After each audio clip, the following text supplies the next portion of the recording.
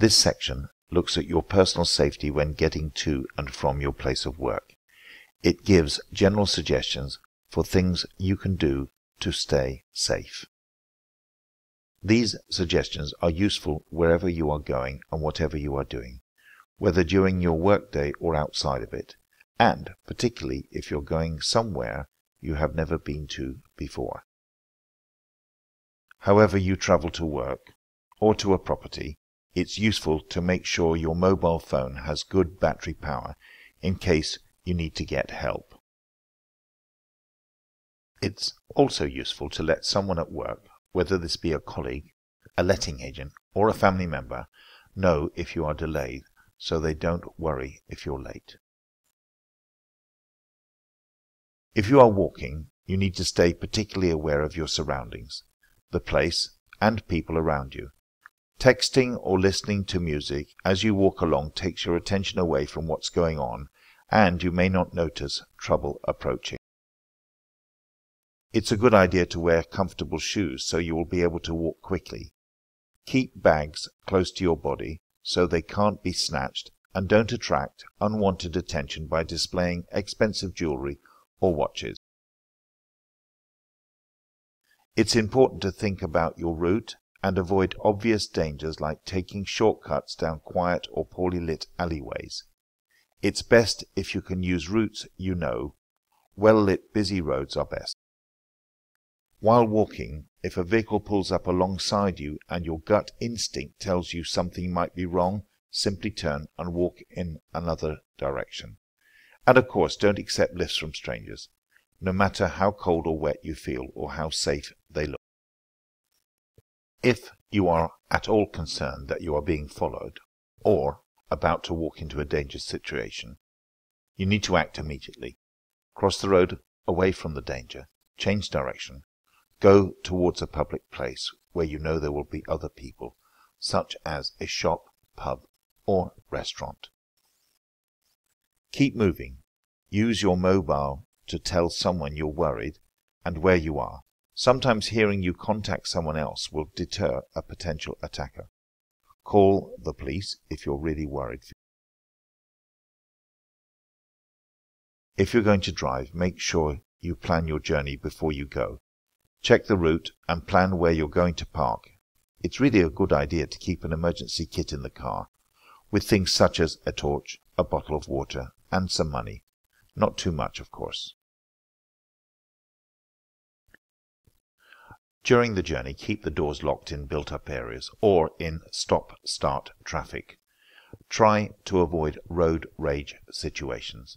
Don't respond to aggression from other drivers, but if another car forces you to stop, stay in your car and keep the engine running. Use your mobile phone to call for help. When you arrive at your destination, think about where you park and if it could be dark when you leave. Try to choose well-lit areas, near street lamps if possible, and, if you can, park close to the entrance or exit. It's a good idea to reverse into a space so that you will be able to get away quickly if you need to. It's really important not to leave valuables or personal possessions on view inside your car. They make your car an obvious target for crime. It's not just the loss of your belongings, but any damage to your car that may mean it's no longer roadworthy. The car alarm may have run down your battery. You might be stuck there. You might not be safe. On your way back to your car, have your keys ready, but don't use your remote control key too early. Wait until you arrive at your car. Make sure you plan ahead if you're using public transport. Before you go, check your route, the timetable, and fare information. If it's dark and you have to wait for the bus or train to arrive, try to wait in well-lit areas where there are other people about. Wait near emergency alarms if you can, and choose places where you are covered by CCTV cameras.